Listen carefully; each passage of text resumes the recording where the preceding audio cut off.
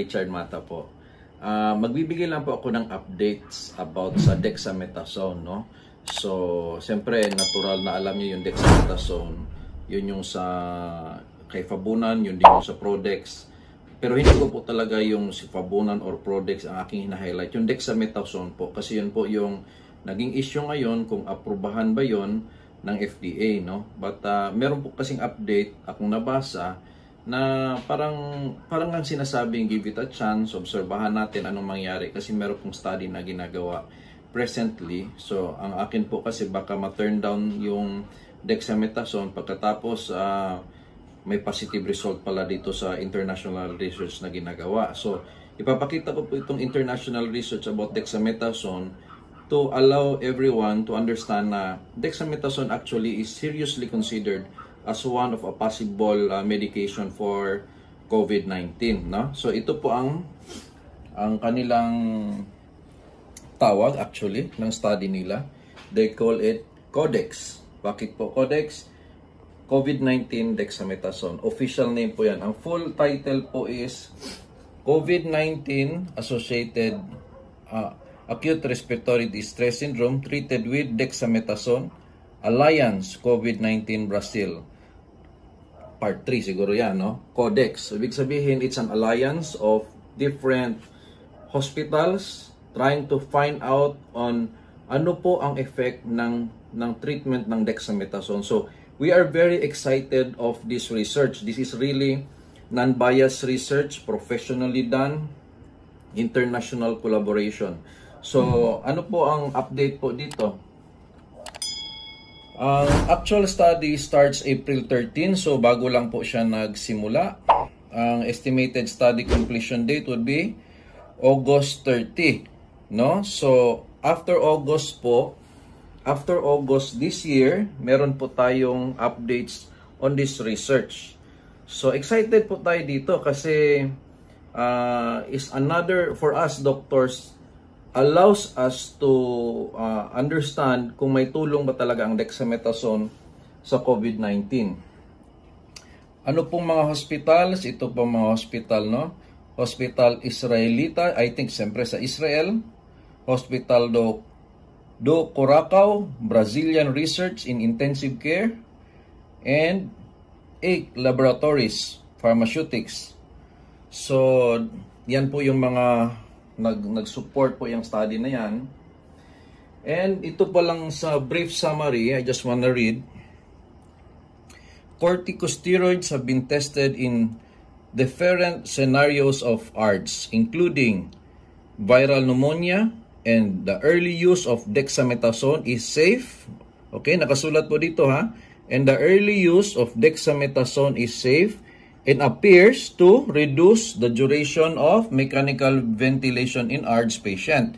Nevertheless, no large randomized controlled trial was performed evaluating the role of corticosteroids in patients with ARDS due to SARS-CoV-2 no or COVID-19. Therefore, the present study will evaluate the effective effectiveness of dexamethasone compared to control. Anong control? Iko-compare siya sa binigyan ng dexamethasone tsaka yung hindi binigyan ng dexamethasone. Ano kayang mangyayari? So, excited po tayo dito sa research na ito. So, akin po, wag sana muna ng may request ko sa FDA, wag mo nyo munang i-turn down yung sa sa dexamethasone na kombin, ginawa ng uh, Pilipinas kay Fabunan o yung basta Prodex B. Uh, baka kasi maging positive yung impact nito tapos tinurn down natin. That's just my point. Uh, very uh, exciting study po ito. So, let me continue. And I just wanna highlight po, ah, sinabi sa, sa observation nila, safe daw ang early use of dexamethasone. Kaya lang sabi nila, kulang po yung research. Kaya sabi ng, ng ano, scientist, gagawa tayo ng mas malaking research this time. So this is the purpose of this. Gagawa talaga sila ng non-biased malaking research and doon po tayo excited and I do believe it's gonna help the world. No? Kung ano man, kung positive, then very good. Kung negative, very good pa rin. Kasi at least, okay, alam na natin. Hanap tayo ng iba.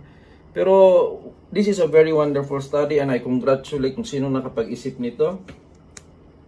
So ito po, I, I don't want to go into details but nakalagay po dito dexamethasone, ah, may dosaging po sila, no? For 5 days, no? May, ma- hindi ko na po explain yan. Basta, ito na research nyo ito sa internet, i-search nyo lang po ang COVID-19 dexamethasone. Andun po ang dosaging. So, ibig sabihin, kung nag-work itong dosage na ito, then gagayahin natin itong dosage na ito. So, that's the point.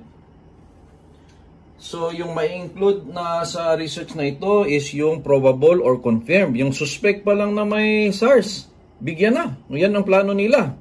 No? Yan ang plano nila. Suspect pa lang or na-confirm, bibigyan na. Yung inclusion eh. Or moderate or severe ARDS. So, kahit moderate pa lang, bibigyan na eh. No? Development of moderate to severe. So, bibigyan din. No? So, ang hindi isasali, yung buntis, or active nagpa-dede, known history of allergy sa DEXA, siyempre hindi sasali kasi allergy siya doon, or nag gumagamit ng corticosteroid for the 15 days, hindi nila isasali, siyempre malilito sila kung kung nag-effect ba yun kasi may steroid na siya dati, no? And uh, kung may septic shock, no? Yun ang hindi isasali. And patient expected to die in the next 24 hours. So, hindi isasali yung mamamatay na bukas, no? Kasi unfair yun sa research. So, ito po yung mga suggestion sa study na yan and uh, excited po ako dito sa number one doon sa probable or confirmed no meaning no suspect pa lang sabi nila bibigyan na nila ng dexamethasone dito sa study na ito of course uh, ano po ito yung uh, may consent po ito pipirma ang mga pasyente dito kasi alam nila hindi pa to final but informed consent po ito na research so they are doing this internationally And actually, in my suggestion, why not do this locally? Ginagawa naman nila internationally, no? So, okay, so uh, again, para pong uh, another support that I would like to throw onto the studies of dexamethasone. And uh, sana bigyan po ng chance. And I really would like to encourage na bigyan po natin din ng kahit local study would also be uh, good. Okay, so uh, good day to everyone and uh, stay home and God bless all.